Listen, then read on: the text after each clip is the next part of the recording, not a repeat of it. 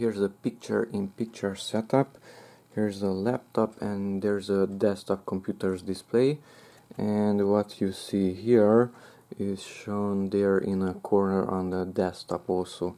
If I move the cursor here then it's visible there also. And the icons are also visible. Those two are here. Those two so the entire desktop is shared with that screen. It's an AOC monitor U2477PWQ is the model. And they're connected through through the VGA cable. When I connect this one to the laptop then the image should appear. And now it appeared okay and if you take a look here in the menu right button let's go to the right. Here we have PIP picture in picture enter picture in picture and PIP setting the first one. Now it's off. If I accept it then it disappears. Now it's back to one single display. This is still active. It has multiple options.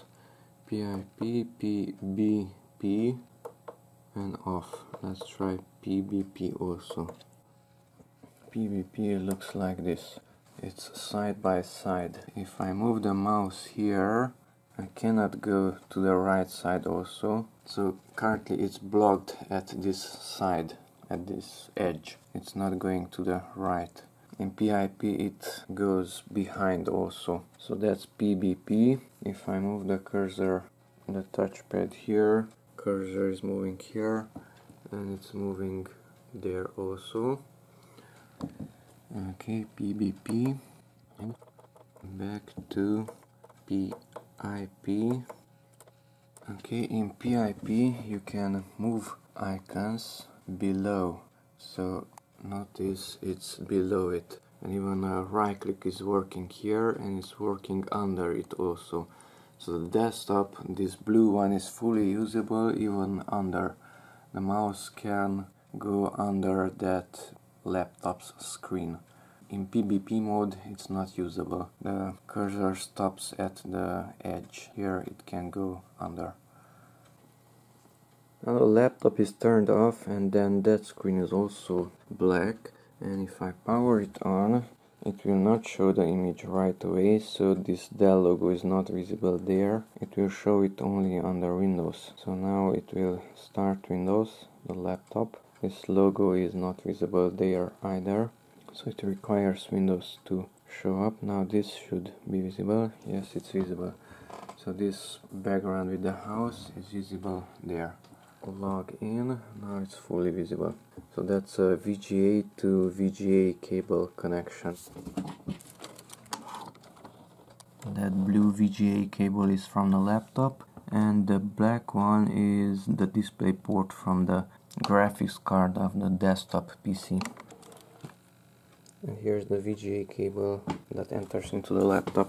Of course you cannot modify anything from this computer on that computer, so it's not like TeamViewer when you can manage from one PC another PC. It's just a read-only type of connection. You can only watch the screen of that computer on this monitor.